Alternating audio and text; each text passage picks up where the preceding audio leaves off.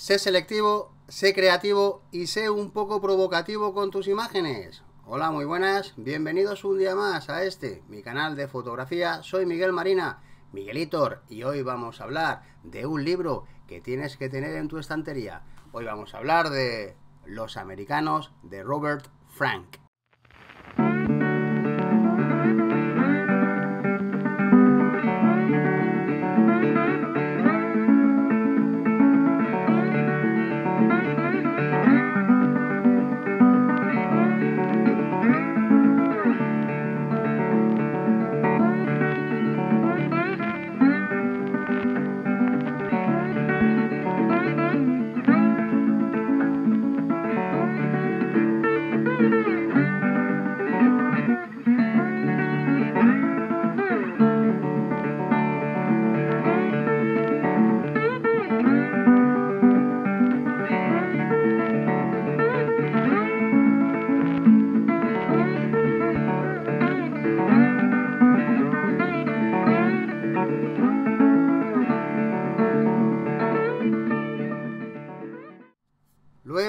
Esta semana y con esta son tres veces las veces que me he comprado este libro. Las dos anteriores, los libros, los regalé. La primera vez que me compré los americanos, tanto el título como la introducción estaba en castellano, estaba en español. La segunda vez me lo compré en inglés y se lo regalé a una amiga fotógrafa que le gustó el día que se lo expliqué y se lo dediqué, como si yo hubiera sido el artista de la obra. Esta, como te he dicho, es la tercera vez que me he comprado este libro y he jurado y perjurado que esta vez no se lo voy a regalar a nadie. Voy a empezar este vídeo por el final. Este libro no tiene que faltar en tu biblioteca.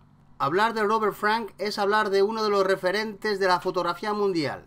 Creo, y bajo mi opinión, que junto a Cartier-Bresson son los dos fotógrafos que más han influenciado a otros fotógrafos. Lo metódico y calculín que era Cartier-Bresson y lo impulsivo que fue Robert. Cada maestrillo con su librillo, cada fotógrafo con su estilo. Vaya dos pedazos de fotógrafos. Dicen que se fotografía acorde al carácter de cada cual. Y el carácter de Robert era difícil, siendo él muy negativo, tosco, serio e incluso taciturno. Quizá ha venido por una de las desgracias que más pueden atizar en esta vida, la pérdida de una hija. De eso es complicado salir. Sus fotografías son difíciles de entender. Siempre interesado por la visión documental, viajó y fotografió por Europa hasta que llegó a Perú. Y de ahí a los Estados Unidos, donde empieza a relacionarse con la escena fotográfica. Ahí es donde tuvo la suerte de conocer al señor Walker Evans, quien le ayudó y firmó una carta de aval y así conseguir la famosa beca Guggenheim, que te lo voy a explicar un poquito más adelante en este mismo vídeo, para viajar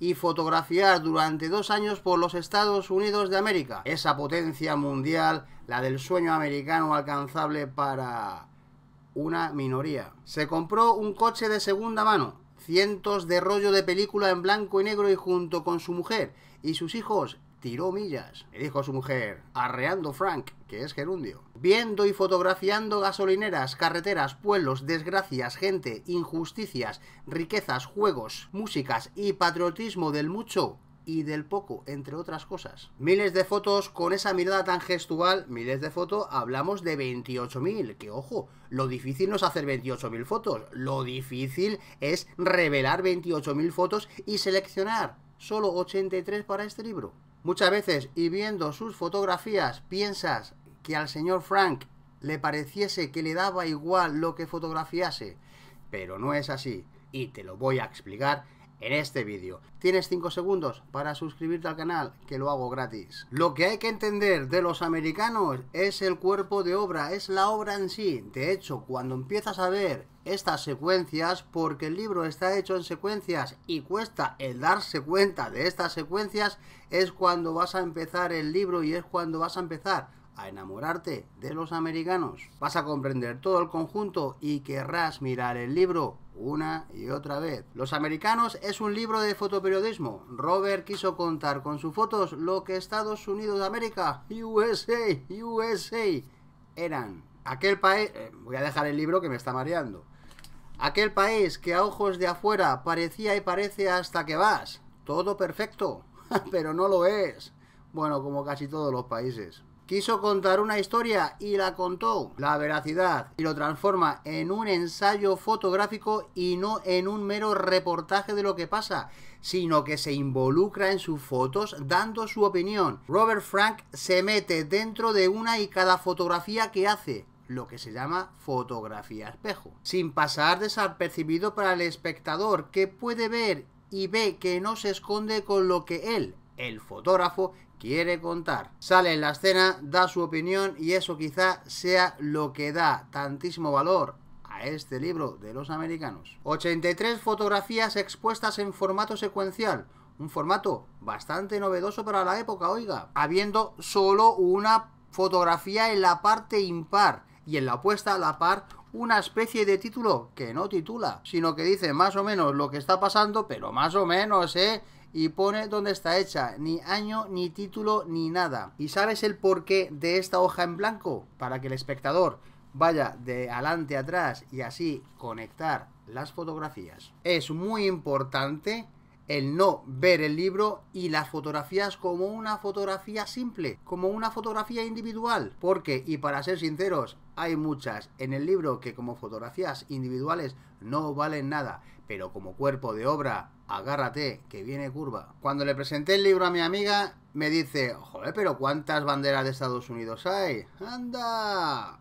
Hay unas cuantas y desde ya te digo que todas las fotografías de banderas que hay en el libro no son más que el inicio de una nueva secuencia, un nuevo capítulo. Y que sepas que el orden de las fotos del libro tampoco fue al azar. Se dispusieron así en un trabajo meticuloso por parte del mismo Frank y Robert Delpig, un director de arte francés. Este último fue el que primeramente quiso hacer el libro ya que en Estados Unidos fue rechazado. Y esto de rechazo da a una muy buena pregunta. ¿Por qué le rechazaron el libro en los Estados Unidos si le dieron una beca de dos años para fotografiar todo el país? Te lo voy a resumir, aunque luego más adelante te lo voy a seguir contando. Los americanos, y hablo de los nativos y no del libro, no querían mostrar al mundo la realidad de Estados Unidos. Ellos querían que desde fuera se viese o pensase que Estados Unidos era el modelo a seguir y de pronto llega un suizo de mala leche y empieza a fotografiar lo que los americanos no querían que se viese. Pues toma, pues nada más que hace este 28.000 fotos. Cuando Robert termina la beca y de fotografiar y lleva las fotos a Nueva York, ya me imagino a los editores tirándose de los pelos, escandalizados, que su país, USA, USA, este país americano, el ejemplo mundial de sonrisas profiden, casinos y dineros a tutiplén. Recordemos que ya estaba en medio de la Guerra Fría con los rusos y no podían perder ese estatus de sueños cumplibles, dineros y películas con chicas bonitas. Así que los dos editores dijeron que bajo ningún concepto se podía mostrar al mundo las fotos que el señor Robert Frank hizo mostrando totalmente lo contrario a lo que los Estados Unidos sean. Gente pobre, buscando dinero, pasándolo mal, fatiga, hambre, marginación, exclusión y discriminación. El libro empieza con una fotografía muy buena y muy dura. Dos personas detrás de una bandera contraponiendo así la libertad ¿Cómo preparó Frank su viaje para fotografiar a los americanos? Reunió mapas e itinerarios. Recogió cartas de referencia de la Fundación Guggenheim y de amigos de la prensa. Esto último por si alguien le cuestionaba sus intenciones fotográficas. Tuvo sugerencias de otros fotógrafos sobre lugares que visitar. Por ejemplo, Walker Evan le dijo, vete al sur. Ben Schultz y Todd Walker le dijeron, vete a Los Ángeles. Wayne Miller dijo, y a San Francisco y también preparó algunos símbolos que quería perseguir y capturar. Banderas, cowboys, socialistas ricos, gramolas, políticos. Pero, ¿qué temas acabó Frank fotografiando? Coches. Frank vio cómo los coches aislaban a las personas, las separaban del entorno. Mostradores de comida. A Frank le fascinaban los mostradores de comida americanos sobre todo cómo los desconocidos se sentaban uno al lado del otro mientras comían. Era algo muy diferente a lo que hacían en Europa. Pues anda, que si se viene a China se va a cagar. Consumismo. Al viajar por los Estados Unidos, Frank se sorprendió al ver el poderoso papel de la cultura del consumo en la vida estadounidense. Vio la sobreabundancia de opciones, con la gente constantemente bombardeada por carteles, tarjetas, periódicos, revistas y anuncios.